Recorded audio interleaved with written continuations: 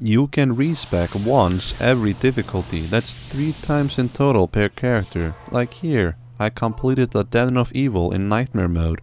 That gave me my second chance to respec. See? I can respec in Nightmare mode. It's not only in normal, it's also in Nightmare and Hell. 3 times per character, make sure you spend it wisely.